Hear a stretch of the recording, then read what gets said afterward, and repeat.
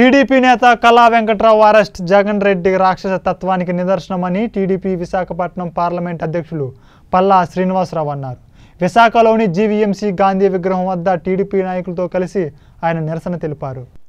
ఈ సందర్భంగా వారు మాట్లాడుతూ ముప్పై ఐదేళ్ళ రాజకీయ జీవితంలో మచ్చలేని స్వచ్ఛమైన నాయకుడు కళా వెంకట్రావుని అన్యాయమైన కేసులో ఇరికించి అక్రమంగా రాత్రి అరెస్టు చేయడం దారుణమన్నారు. దేవాలయాల దాడులపై తమ తప్పులు ఎక్కడ బయటపడతాయోననే భయంతోనే అరెస్టు చేశారని అన్నారు. టీడీపీ పోలిట్ బ్యూరో సభ్యులు మాజీ మంత్రి కళా వెంకట్రావును అక్రమంగా అరెస్టు చేయడాన్ని తీవ్రంగా ఖండిస్తున్నామన్నారు. దేవాలయాలపై దాడులు చేసిన వారిని వదిలేసి ప్రశ్నించిన వారిపై జగన్ తన దమనకాండను కొనసాగిస్తున్నారని మండిపడ్డారు. తక్షణమే కళా వెంకట్రావుపై పెట్టిన అక్రమ కేసును ఎత్తివేయాలని డిమాండ్ చేశారు. లేని పక్షంలో తీవ్ర పరిణామాలు తప్పవని హెచ్చరించారు. ఈ నిరసన కార్యక్రమంలో తూర్పు నియోజకవర్గం ఎమ్మెల్యే వెలగపూడి రామకృష్ణబాబు పోతన్నారెడ్డి కాళ్ళ శంకర్ దాడి సత్యం పాల్గొన్నారు.